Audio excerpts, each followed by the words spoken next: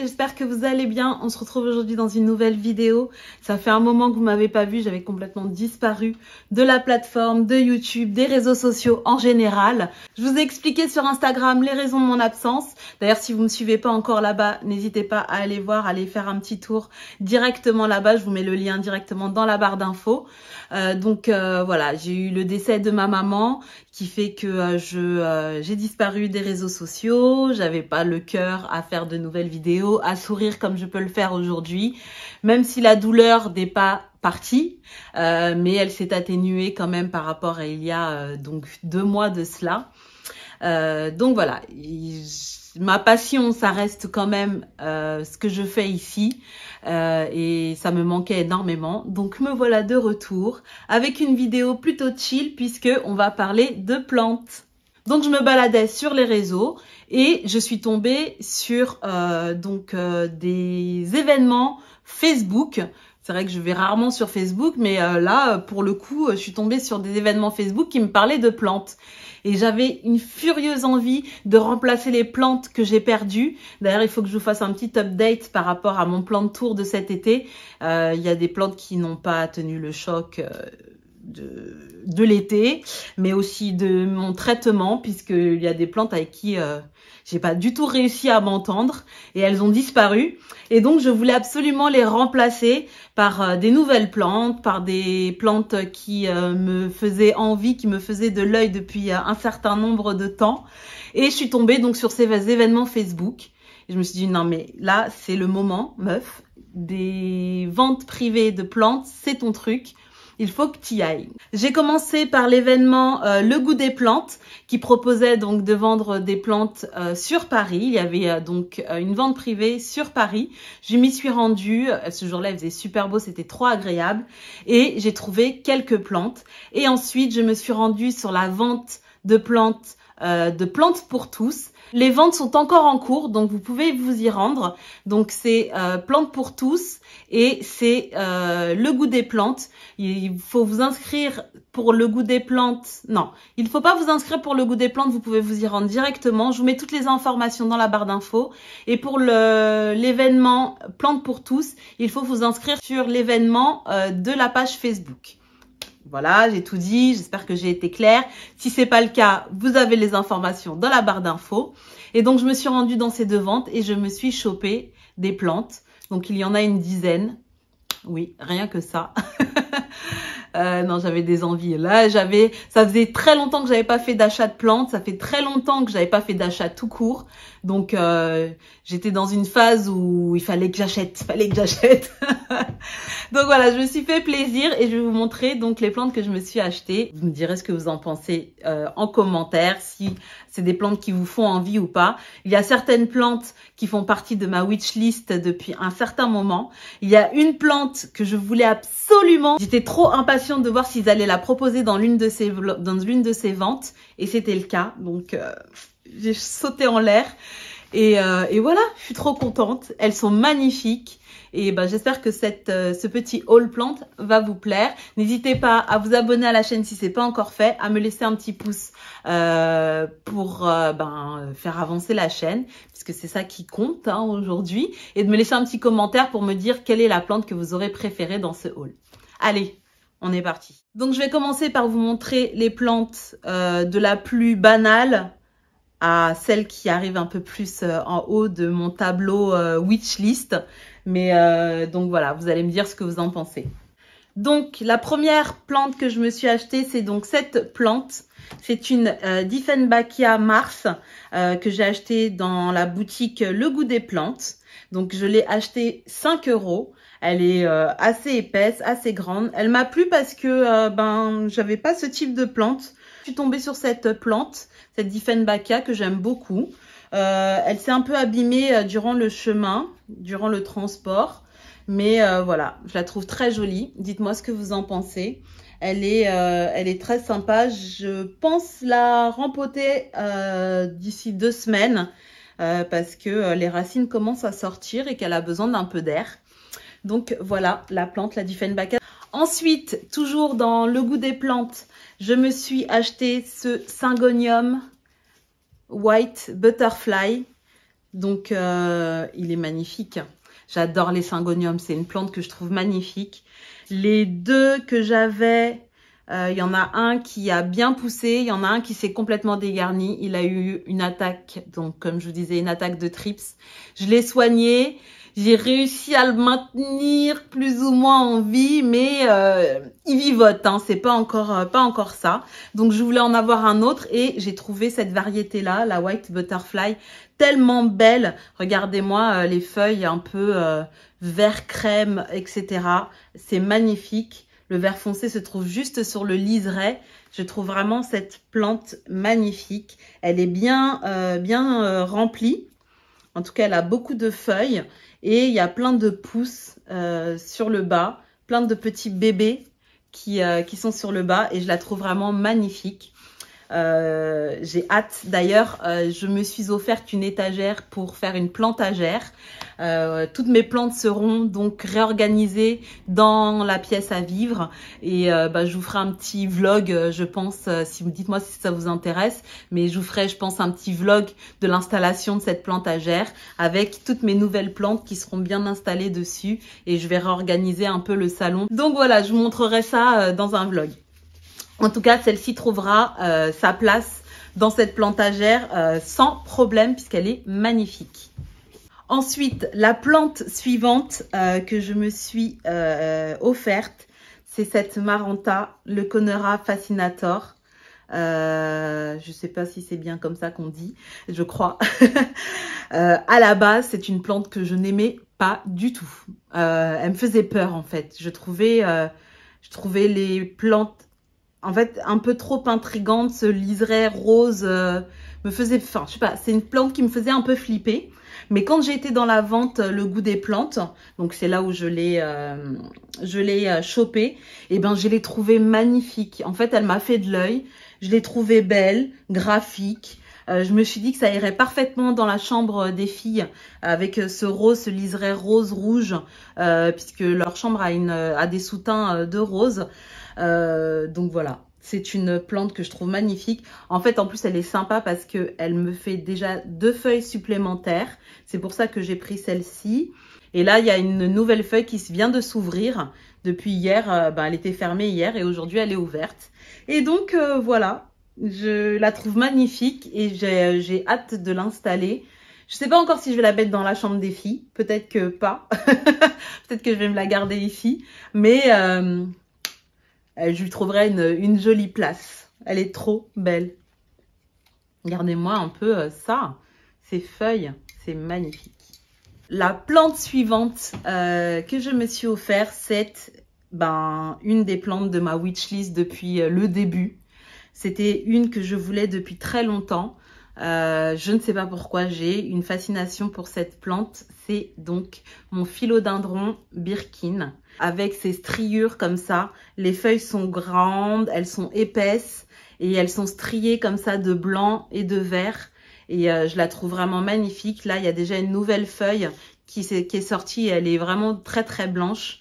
Et vraiment, je la trouve, euh, je trouve cette plante magnifique. C'était vraiment dans ma wishlist. Je ne sais pas si vous me suivez sur Instagram, mais j'avais lancé un, un petit subli un subliminal, un petit message subliminal à quelqu'un de bien particulier sur mon Instagram pour que je puisse l'avoir à Noël. La personne n'a pas du tout capté que c'était pour elle, ce subli. Et donc, euh, ben, je l'ai pas eu. Donc, euh, j'étais triste. Et je me suis dit, ben, c'est pas grave. Euh, si la personne n'a pas capté, et eh ben, je vais me l'offrir moi-même. Et donc, voilà. Mon petit philodendron Birkin. Et ben, il est magnifique. Je sais pas ce que vous en pensez. Donc là, on est clairement sur un exemplaire de plante que je n'arrive pas à faire survivre. J'en ai eu deux, les deux sont morts, mais j'ai décidé de tout donner cette fois-ci pour le faire survivre. Donc je l'ai acheté euh, online baby plant et euh, donc c'est euh, un pilea peperomoïde. Donc le voilà. J'espère réussir à le maintenir en vie euh, les deux que j'ai eus n'ont pas tenu l'année. Je les ai perdus euh, en octobre. Donc euh, j'étais triste parce que c'est vraiment une plante que j'aime beaucoup. Je la trouve hyper graphique, hyper belle. D'ailleurs, je vous invite à aller voir mon plan de tour de l'été. Et j'en parlais avec beaucoup de passion. Mais je ne sais pas les maintenir. Si vous avez, si vous avez des, des conseils d'entretien de ce du piléa, je pense que je l'arrosais trop. Mais voilà, J'espère pouvoir maintenir celui-là. Je reviens cet été et je vous en donnerai des nouvelles. Mais euh, voilà, c'est une plante que j'aime et donc je vais me forcer, enfin pas me forcer, mais je vais euh, faire tout ce qui est en mon pouvoir pour pouvoir la maintenir. Je l'adore. Alors là maintenant, on monte d'un cran niveau level. Nous sommes sur un Alocasia Silver Dragon que j'ai chopé sur Online Baby Plant. Je sais plus comment s'appelle ce site. Je vous mets de toute façon le nom euh, dans la barre d'infos. Euh, mais regardez-moi la beauté de cette plante. Regardez-moi la beauté de cette plante. Donc c'est un Alocasia Silver Dragon, comme je vous disais. Et il est juste magnifique. Les, les feuilles sont épaisses, elles sont belles. Elles sont... Waouh Il est juste... Euh, j'aurais jamais pu penser avoir euh, ce type de plante un jour. Et, euh, et c'est l'une de mes... En, hormis mon anthurium, vous le connaissez, que j'aime beaucoup, que j'ai, qui est toujours là, qui est toujours maintenu. Il avance pas beaucoup, mais il est toujours là. Et pour une kileuse de plantes comme moi, c'est un miracle. Et ben euh, là, euh, concrètement, euh, c'est la deuxième plante, c'est l'une de mes deuxièmes plantes préférées. Il est juste magnifique. Qu'est-ce que vous en pensez? Dites-moi tout. Non, il est magnifique. Vous pouvez pas dire autrement que il est magnifique. Et donc, ben voilà, je le trouve superbe. Dites-moi dites-moi en commentaire ce que vous en pensez. Regardez-moi comment les feuilles sont graphiques. Et là, j'ai une nouvelle pousse Là, j'ai une nouvelle pousse, euh, une nouvelle feuille qui arrive. J'ai hâte de la voir, euh, de voir comment elle s'ouvre. Euh, et, voilà quoi. Et là, j'ai un tout petit bébé plante, un tout petit bébé, bébé feuille. Et celui-là, il a poussé beaucoup plus petit. Et je vois que là, il y a d'autres feuilles qui vont sortir. des toutes mini feuilles. Il faut pas trop que j'y touche. Je l'ai déjà rempoté parce que euh, ben euh, quand elles sont envoyées comme ça d'un peu loin, je préfère les rempoter tout de suite et euh, leur donner ben de la bonne terre et les arroser correctement parce que le transport elles ont un peu souffert. Mais là, elle est concrètement, elle est toujours aussi magnifique. Je l'adore. non, vous n'êtes pas prêts parce que même moi, j'étais pas prête. Attendez. ah là là vous n'êtes pas prêts. La taille de cette plante. Donc, je l'ai acheté euh, chez Le Goût des Plantes. Si je vous dis que j'étais dans les transports avec ça, euh, mais j'ai pas pu résister. C'était le dernier exemplaire et je me suis dit non, mais en fait, je peux pas le rater parce qu'il est juste magnifique. Regardez-moi cette beauté. Donc, c'est un Syndapsus pictus exotica. Donc, un poteau sargenté pour euh, les mots un peu plus euh, que tout le monde peut, tout le monde connaît. Non mais regardez-moi ça, c'est une pièce énorme. Regardez, hop. Donc là vous avez le bas avec des milliers de feuilles et le haut. Et il était déjà sur son portant comme ça. Je l'ai payé cher, hein. je l'ai payé 40 euros. Mais franchement, pour ce que c'est, il y a au moins 1, 2, 3, 4, 5, 6, 7, 7 voire 8 pieds. Et il est juste magnifique. J'ai pas pu résister. Franchement, ça m'a coûté un bras. Je vais manger des pâtes pendant 6 mois. Mais je le voulais trop. Il est trop, trop beau. Oh là là.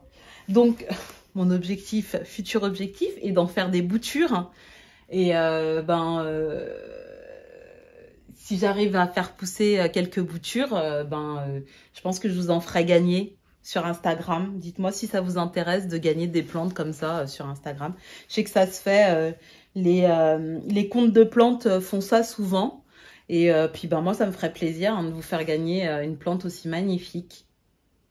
Si j'arrive bien sûr à la bouturer correctement. En tout cas, je suis trop, trop fan de cette plante. Waouh Je me suis rattrapée chez Plantes pour tous et je me suis offert donc cette Alocasia zebrina euh, avec une, deux, trois, quatre, cinq, six feuilles déjà développées, dont deux qui sont ici, deux nouvelles feuilles qui vont, euh, qui vont sortir.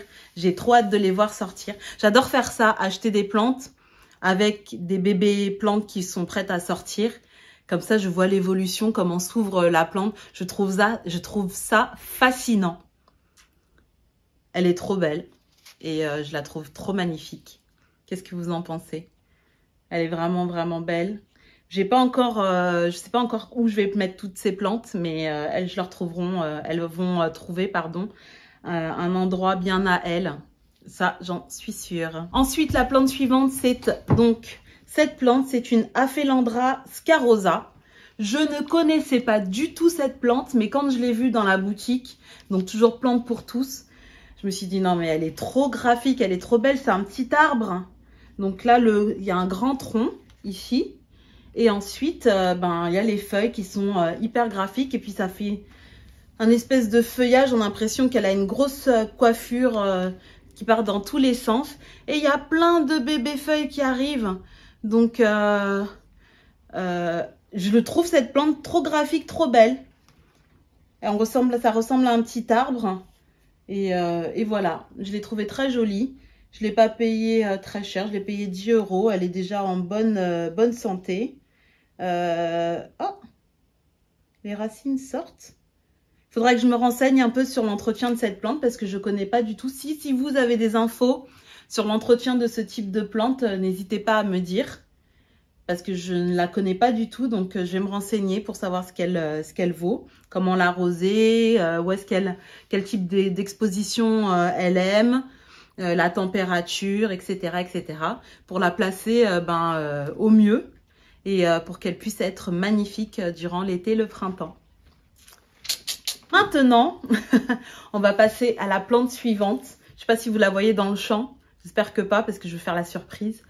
Si vous avez suivi mes péripéties de cet été, vous savez que je suis partie trois semaines qui font que j'ai plein de plantes qui, ont, qui sont décédées, qui n'ont pas tenu le coup dont une plante que je que j'adorais, que je la trouvais je la trouvais magnifique. Je vous mets des photos de cette plante.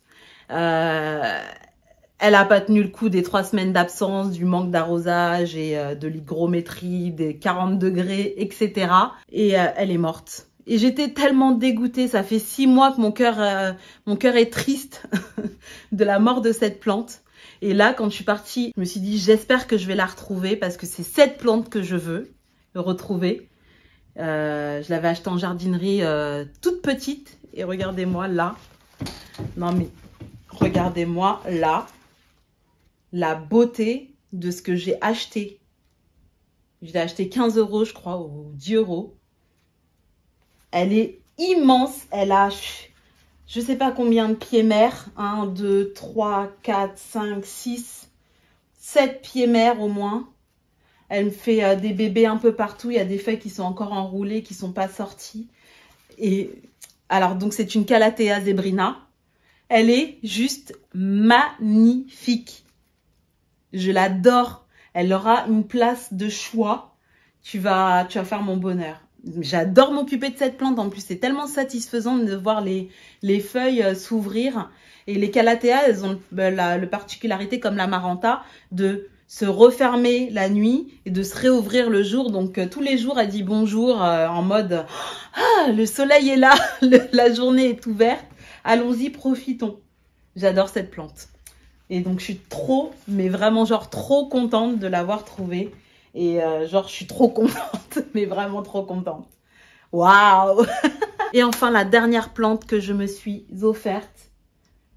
Ça fait déjà pas mal. Je la voulais depuis longtemps. Je me suis dit, je suis pas encore assez euh, calée. Parce que là où je l'avais vue avant, je la trouvais, elle était très chère. Donc je me suis dit, je vais pas mettre ce prix-là pour euh, faire tuer cette plante et au final ne pas la faire survivre. Surtout que j'ai énormément de mal à m'occuper des ficus. Donc c'est un ficus lirata. Il est immense, majestueux, magnifique.